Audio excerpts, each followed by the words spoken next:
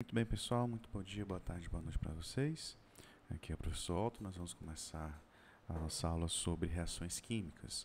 Hoje, sexta-feira santa, dia 2 de abril, estamos hoje gravando essas aulas porque ontem, dia 1 foi decretado ponto facultativo, então nós não podemos ter aula normalmente. E sendo assim, nós vamos falar hoje sobre as reações químicas e sobre os tipos de reações químicas que podem ocorrer dentro desse ramo, dentro do nosso contexto de estudo de reações. Então, na aula passada nós vimos do que se tratavam as fórmulas químicas, vimos sobre formas moleculares e ion-fórmula de compostos é, covalentes iônicos. Falamos também da fórmula mínima e também falamos sobre as formas de determinar a fórmula química de compostos a partir das suas valências. Então, nós, nós tudo, vimos tudo isso na, na aula de terça-feira. E hoje nós vamos tratar sobre as reações químicas propriamente ditas. Então, nós já vimos ao longo dessas aulas que nós temos vários tipos de reações. Algumas nós já vimos em termos de, de, de vídeos de outros de outros é, de outros laboratórios de outras universidades que nós temos aí no mundo afora. Aí é um vídeo que mostra a síntese do cloreto de sódio a partir do sódio metálico e do gás fluoreto. Vejam vocês que a reação química é muito intensa, a liberação de energia em forma de calor. Então é uma reação muito, é, muito perigosa e ao mesmo tempo muito energética. Também nós temos reações um pouco mais comportadas, se assim podemos dizer, que são as reações de amalgamação, quer dizer, utiliza mercúrio líquido, mercúrio metálico, em contato com outro metal, que aí forma uma solução entre metais, uma solução sólida que nós chamamos de amálgama. Então, aquele amálgama dentário que você tem aí para tapar o buraquinho causado pela cárie é justamente feito desse mercúrio. Então, o mercúrio, apesar de ser uma substância tóxica, quando fica em contato com outro metal, torna-se uma substância inerte e é utilizado há milênios, inclusive no Egito Antigo há relatos de utilização de amálgama metálico à base de metais nobres. Então, antigamente utilizava-se outros metais menos reativos, como prata, ouro ou platina, para fazer essas amálgamas dentárias. Então, nós temos aí um tipo de reação na qual a formação de uma solução sólida, ou seja, nós temos aí o soluto e o solvente, o solvente aí no caso seria o alumínio, e o soluto mercúrio, e forma aí uma solução de, é, de amálgama de alumínio. Também nós temos reações químicas que são induzidas pela eletricidade, como vocês estão vendo aí, nós temos uma eletrólise da água, quer dizer, nós estamos utilizando aí uma pilha de 9 volts, uma pilha de 9 volts já tem energia suficiente para que se faça uma eletrólise, quer dizer, uma quebra da água utilizando energia elétrica. Então, a corrente elétrica que existe dentro da pilha ela é suficiente para que você consiga separar a água em oxigênio e hidrogênio, que são os constituintes principais da água. Então, nós temos aí vários tipos de reações, muitas classificadas, né? nós temos a infinidade de reações com diversas classificações, e nós já vimos que as reações químicas ocorrem em função dos seus elétrons de valência e de como esses elétrons interagem entre si. Também é possível prever quais tipos de compostos químicos podem ser formados a partir das valências dos elementos. Também nós sabemos que as quantidades envolvidas por mol substância têm um nome que é chamado de massa molar. Então, vejam aí que nós temos uma quantidade imensa de informações e seria muito difícil colocar isso em forma de texto, porque envolveria aí um conhecimento muito grande dessas coisas que acontecem de forma simultânea. Mas, como é possível juntar todas as informações numa única linha, a gente chama isso de reação química. Portanto, a reação química é um modelo é um modelo químico que mostra para a gente como que os elementos que nós chamamos de reagentes se transformam em produtos. E assim, Chamamos de reações químicas todo processo que leva a transformações químicas de um conjunto de substâncias para outros. As substâncias químicas envolvidas nas reações químicas são chamadas de reagentes, e as substâncias quimicamente transformadas pela reação são chamadas de produtos.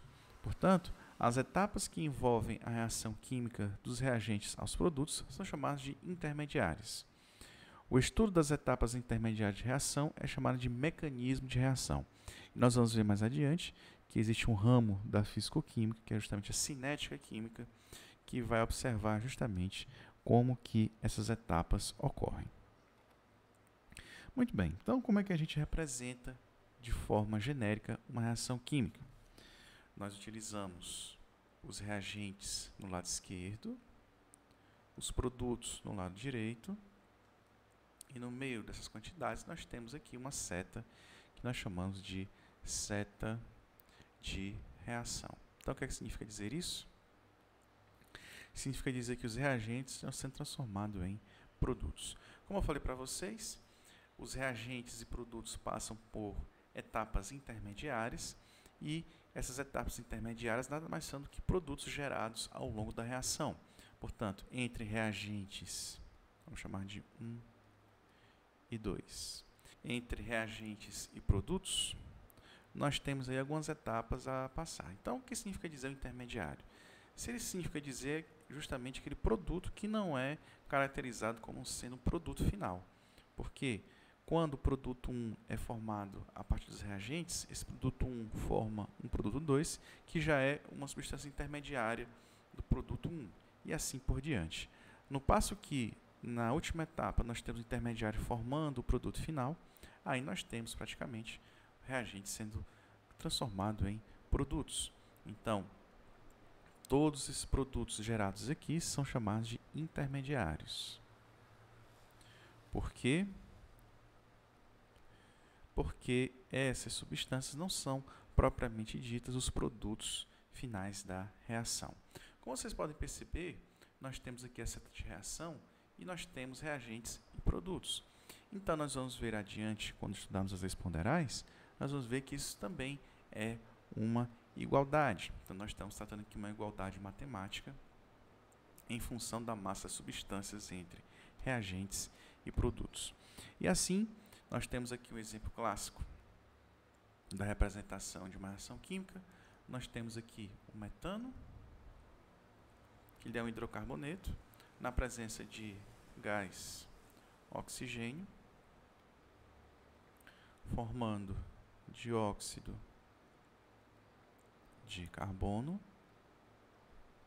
e água. Então, esse tipo de reação nós chamamos de combustão, porque tem a ver com a presença de oxigênio e geração de calor. Então, o metano, por ser um hidrocarboneto, ele é normalmente um tipo de combustível. E o que faz um combustível nada mais do que gerar energia a partir da combustão. Então, nós temos aqui a representação no lado esquerdo da seta como sendo nossos reagentes. Então, os reagentes ficam à esquerda da seta reacional e à direita da seta reacional ficam os produtos. E a seta reacional é essa aqui. Seta reacional. Quer dizer, uma representação da transformação de reagentes para produtos. Então, observem que nós temos também esse número que fica na frente dos reagentes ou dos produtos, nós chamamos de coeficiente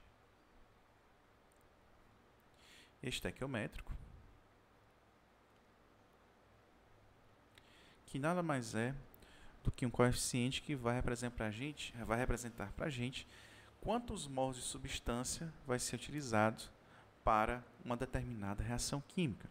Então, nós estamos aqui nada mais nada menos do que o número de mols envolvidos na reação.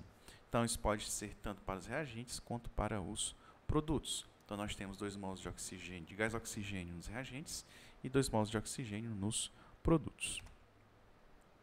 Então, como podemos observar, as reações químicas representam como os reagentes são convertidos para produtos.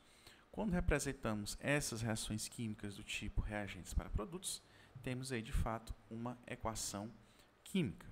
Então, ou, ou então, nós podemos dizer também que é uma equação de uma reação química.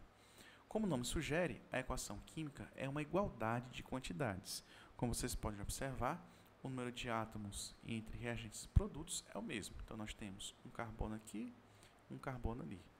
Quatro hidrogênios ali, quatro hidrogênios aqui.